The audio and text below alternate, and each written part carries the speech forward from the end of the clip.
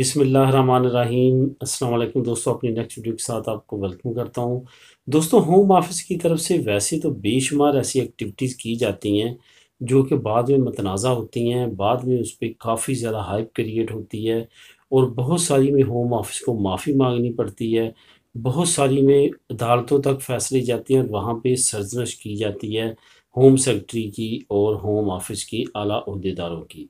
لیکن لگ یہ رہا ہے کہ ہوم آفس کسی صورت بھی ان ایکٹیویٹی سے باز نہیں آنے والا، جس کی، جس ایکٹیویٹی کی وجہ سے وہ پہلے بھی کئی مرتبہ جو ہے وہ شرمندگی کا سامنا کر چکا ہے عدالتی کاروائیوں میں یا ویسے۔ یہاں پہ جو میں ابھی آپ لوگوں کے ساتھ نیوز شیئر کروں گا، یہ آج سے تقریباً ایک مہینہ پہلے اس نیوز کی وجہ سے بہت زیادہ پرابلم کا سامنا کرنا پڑا ہوم آفس کو۔ یہ تھا صبح سویرے کا ریٹ یعنی کہ صبح سویرے لوگوں کے گھروں میں امیگرینٹس کے گھروں میں چھاپے مارنے، وہاں پہ اللیگل امیگرینٹس کو پکڑنا اور ڈپورٹ سینٹر کی طرف بھیجنا۔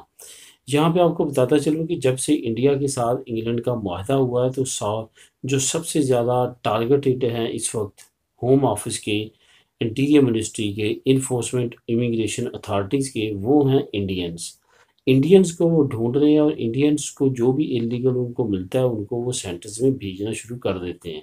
اور صرف اور صرف انتظار کر رہے ہیں کرونا وائرس کے ختم ہونے کا، اس کے بعد یہ ایگریمنٹ پہ امپلیمنٹیشن شروع کر دیں گے۔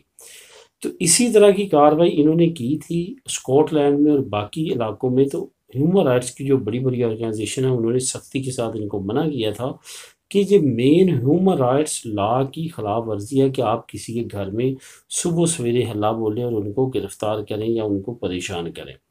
یہ کب پیش آیا؟ کیونکہ گلاسکو میں انہوں نے ایک گھر پہ چھاپا مارا، وہاں پہ جو فیملیز تھیں، ان میں سے ایک ہارٹ پیشنٹ تھا، وہ پریشانی کی وجہ سے ان کو اٹیک ہوا اور ان کو ہاسپٹل جانا پڑا۔ اس کے بعد جو ہے وہ کافی زیادہ کریٹیسزم بڑی ہوم آفس پہ کہ اس طرح کی ایکٹیویٹی سے باز رہا جائے۔ لیکن اوپر اوپر سے ہوم آفس یہی کہتا رہا ہے کہ وہ وقتی طور پہ ایسی کوئی بھی ایکٹیویٹی میں نہیں جانے والا۔ لیکن اندر کھاتے کچھ ایسی ایکٹیویٹی سامنے آئی ہیں جو کہ ہوم آفس کر رہا ہے۔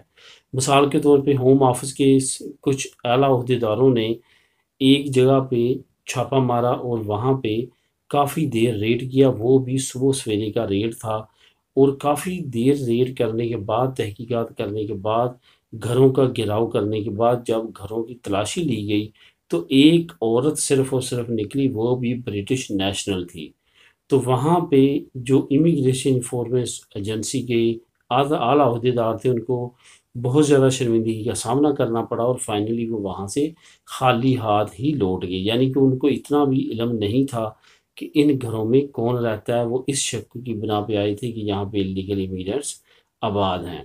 دوسرے اس نیوز کا جو لنک ہے وہ میں آپ کو ڈسکرپشن میں دے دوں گا، آپ اس کو کلک کر کے خود بھی ریڈ کر سکیں۔ میرے نیکسٹ ویڈیو میں نئی نیوز اپڈیٹ کے ساتھ اللہ حافظ۔